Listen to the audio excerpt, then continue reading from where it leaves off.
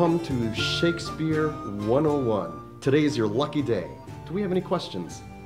Sure, go ahead. Why did I get a 68% on my Romeo and Juliet paper? Because to me, you didn't understand the essence of romance. There were no cliffs, no rocks. There was no PB and J relationship. Peanut butter jelly, peanut butter jelly. I think you're missing something. You need a little mood music. Here's a treat.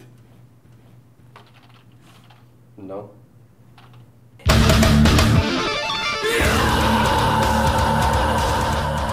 Here we go. This is who I am.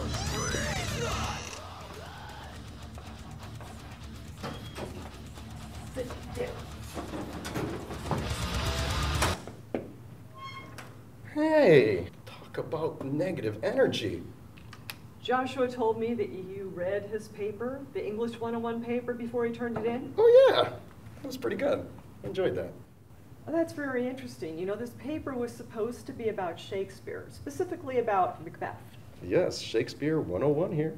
Well, you realize the first paragraph. To be or not to be, that is the question. Whether 'tis nobler in the mind to suffer the slings of arrows of outrageous fortune, or to take arms against the sea of troubles and by opposing in them, to die, to sleep no more. Do you recognize that? Hmm. I got that. Actually, It's from Hamlet, not Macbeth. The second paragraph is even more troubling. You recognize that? Oh, yeah. I, I actually wrote part of that myself.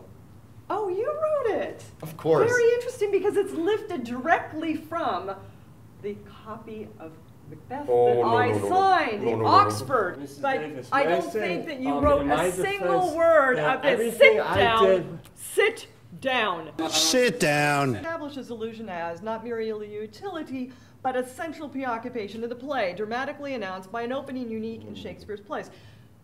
You know, Joshua, I would be impressed if you'd actually written that paragraph, but I don't believe that you wrote a single word of this paper You're yourself. single? And you know why? Hey, it's because you like this. directly lifted the paragraph from the book that I assigned, the Oxford edition of Macbeth. In my defense, Professor, I did it myself. The rest of the paper is a bunch of garbage. That's not true, Specifically from Moby Dick and from First Blood. Call me Ishmael. Some years ago, never I shall pummel the Pecurian peasant. Okay, you're spitting all in my shit! part of the world. Moby Dick. And now that May get down, get in your chair, get get away from me. And the third and the fourth paragraph is pulled directly from David Morrell's First Blood. Now I don't mean to denigrate First Blood. He actually is a pretty talented author. But you didn't actually write a single word of this paper. I'm disgusted by Professor. you. Sit down, sit. Now, but report you to the administration oh, for plagiarism. Do you know what plagiarism is? Professor Do Triple you know what it is? holds five Sit PhDs. down. It is very clear to me that all you did was go to the library, go to the shelf that has books with the author with the last letter M, and randomly tool out two books. Maybe you actually read First Blood because you probably liked the movie Rambo, but it's obvious you didn't read Moby Dick. Neither of these books has anything to do with Shakespeare. I don't understand why you thought you would get, be able to get away with this. Do you think that I'm a fool? Do you think I wouldn't recognize that this is not Macbeth? Professor, Why did you do it? Why? I- may Just I tell say, me. I don't care about your Professor. lies. I want the truth. I want the truth. Why did you do it? Okay, well, Professor, may I say, Professor Triple J, who happens to hold five PhDs, one of them in multilecular numerology, called my paper a masterpiece. I finished it. Love is forever. Will you marry me? Beautiful. Sit down. okay.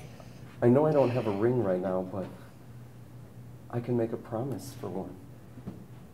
I'll work hard every day and